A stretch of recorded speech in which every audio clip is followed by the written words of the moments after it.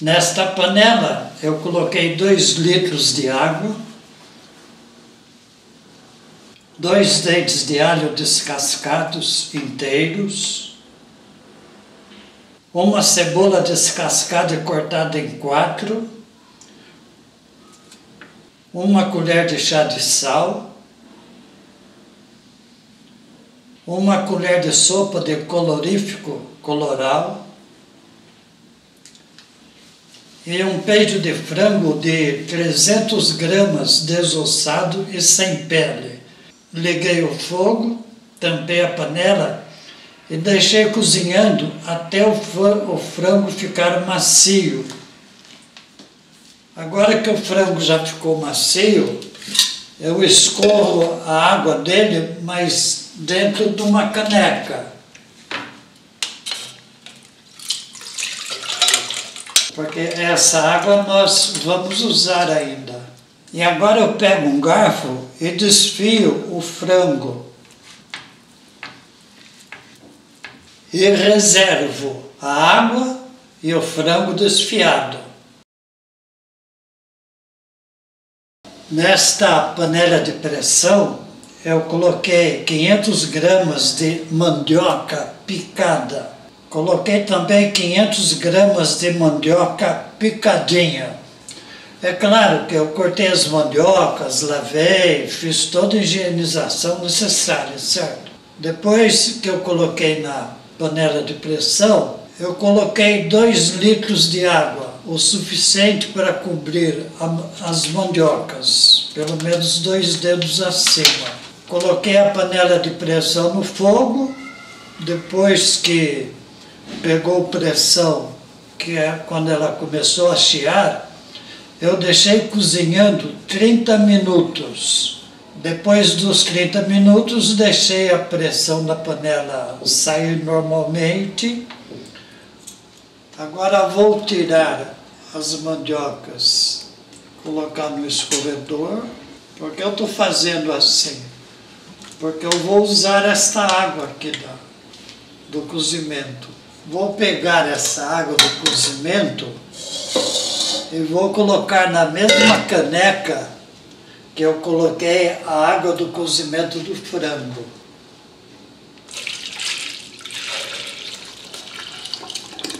E vou reservar.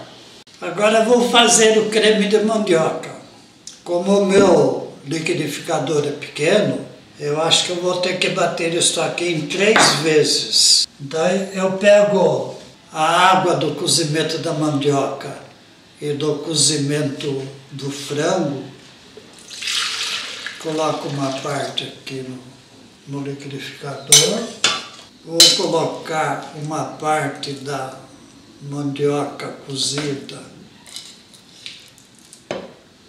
Acho que eu vou ter que bater em três vezes. Agora eu bato até ficar uma, um creme homogêneo, quer dizer, ficar bem triturada a mandioca.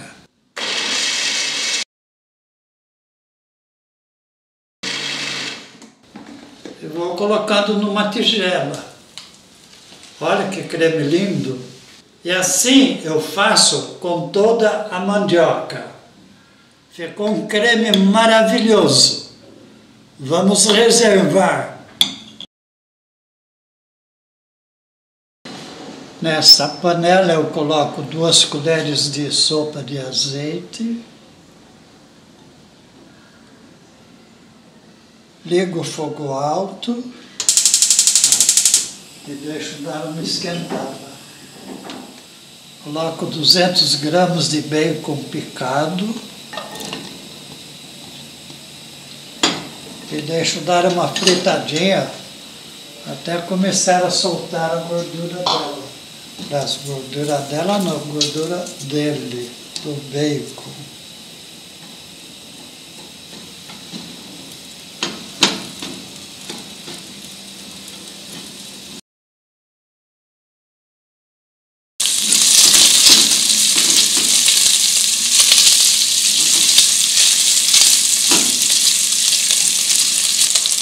O bacon já começou a soltar a gordura.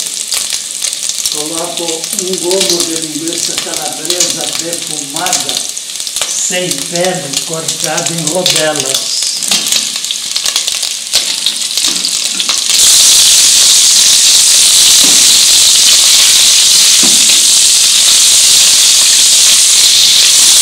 fritar até a linguiça começar a ficar douradinha.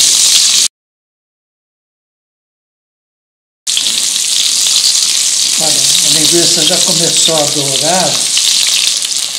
Coloco uma cebola média picadinha. E vou refogando a cebola até ela começar a ficar transparente. Aí a cebola já começou a ficar transparente.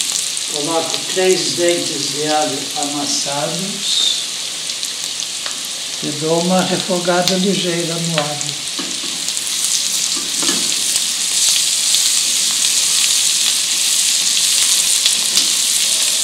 Agora coloco o frango desfiado.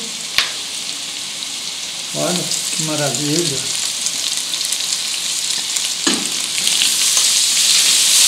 Dou uma boa misturada aqui para ir pegando o sabor das, dos outros ingredientes.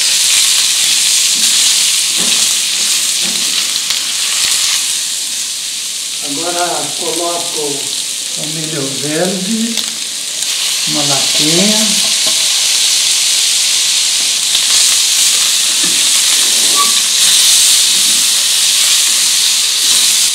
Coloco o creme de mandioca.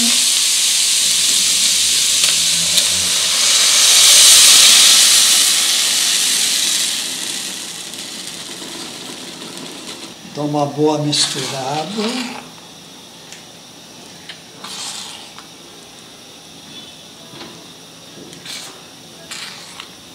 Como o creme de mandioca ficou muito grosso, vou colocar mais um pouco de água, água quente. Agora vou deixar cozinhando até o caldo ficar bem encorpado. Se houver necessidade, se ele ficar muito grosso, eu coloco mais um pouco de água. Aliás, mexer de vez em quando, né? Para não ficar nada grudado no fundo da panela. Agora coloco um pouco mais bem tempero. Uma colher de chá de páprica doce. Uma colher de sopa de chimichurri. Uma colher de sopa de coloral, para dar uma corzinha mais bonita ainda. Uma colher de chá de açafrão. Uma colher de café de pimenta do reino, uma colher de chá de sal. Vou dar uma misturada aqui.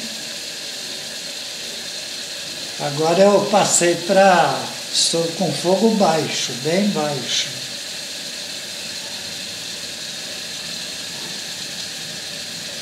Tem que misturar aqui para integrar todos os temperos.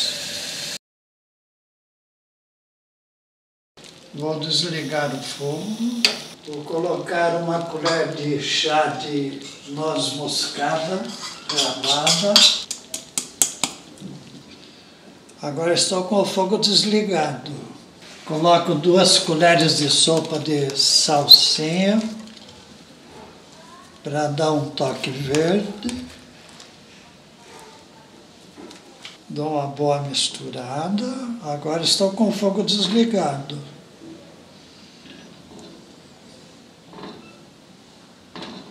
Nosso caldo de quenga está preparado para ser servido.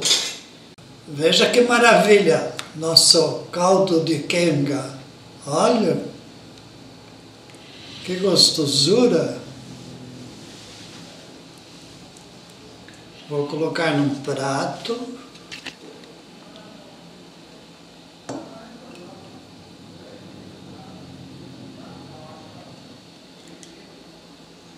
Polvilho um pouco de salsinha, Agora ficou sensacional. Vamos provar esta delícia que acabamos de fazer.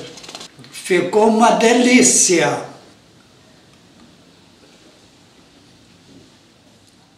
É um caldo excelente, principalmente para os tempos mais frios. A família vai ficar aquecida e muito bem alimentada, pois este caldo é tudo de bom e muito nutritivo.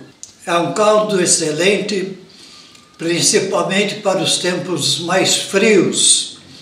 A família vai ficar aquecida e muito bem alimentada, pois este caldo é tudo de bom. É bom demais. Muito obrigado.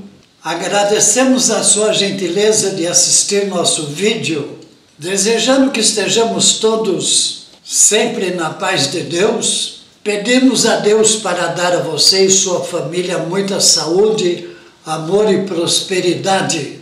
E aproveitamos para despedirmos-nos enviando-lhe um fraternal abraço Tchau para você. Não se esqueça de clicar no botão gostei.